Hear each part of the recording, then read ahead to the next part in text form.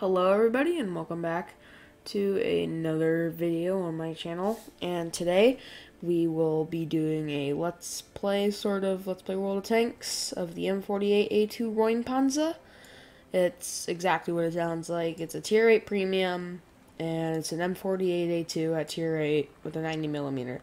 So what else is there to ask pretty much, right? Okay, so let's go jump into gameplay. Alright, so now we are here in the gameplay on Kharkov, which I believe they brought this map back actually. Yeah, they brought this one back. Anyway, about this M48. Um, it's it's rather slow, and it has a big bulldozer blade on the front, as you can see right there. You're wondering, is this the best rammer in World of Tanks? Well, no, it's not.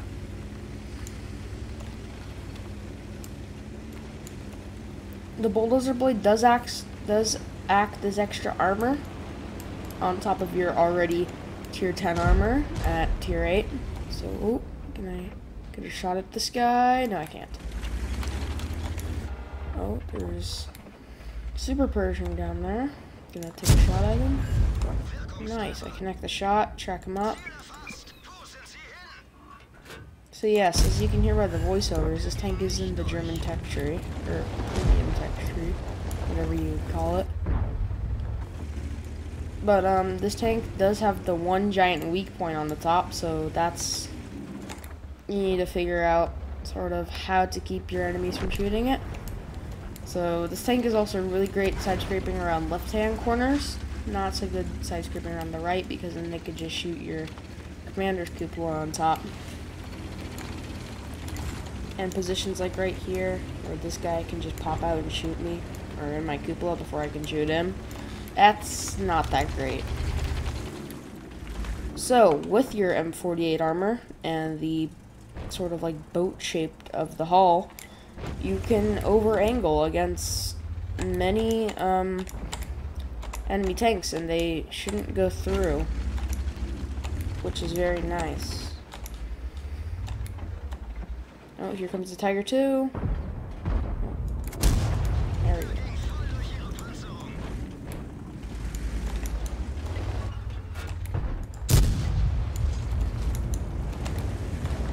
So a lot of the time I find myself shooting premium rounds in this tank because this 90mm seems a little bit underpowered for a tier 8 medium. But with this insane armor, and as you can see, he just shot me in the commander's cupola. Um, sometimes doesn't work out so well.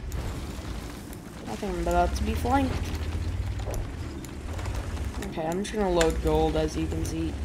In this tank, you really have to load the gold to actually do something.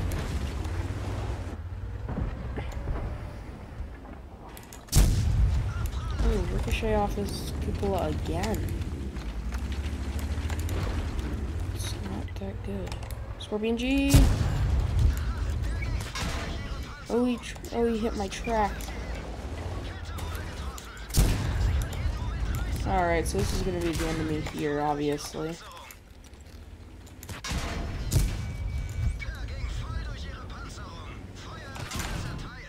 I forgot to mention that with this tank, you kind of need to have some support. You need to, you can't fight them by your own. You're way too undergunned to fight them on your own you need some sort of heavy tanks or other mediums to help you fighting your enemies because or else that will happen to you. Alright, so for our second dosage of World of Tanks gameplay for today, I am the same tank on Erlenberg, and it's a tier 9 matchup, which, eh, for this tank, I mean, the gun. It's just the bad thing about this tank is the gun, its mobility, but I mean, you're also watching me play this, and as you know, I'm very crappy at playing tanks. Oof. As you can see. As of that. That's why I'm very crappy at playing more tanks.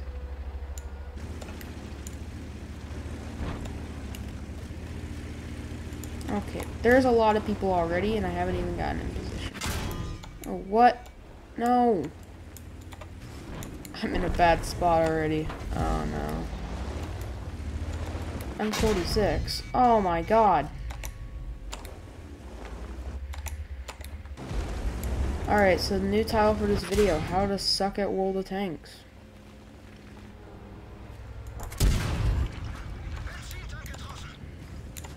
Definitely had a second roll of Tanks.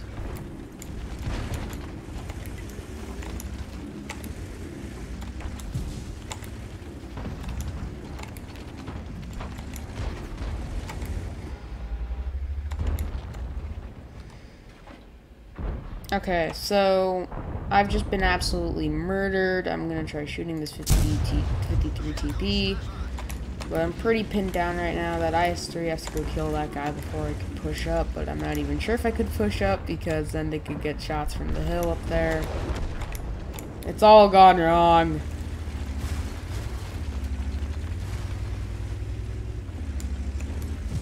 Like that. Aha. Mr. M46. Hello.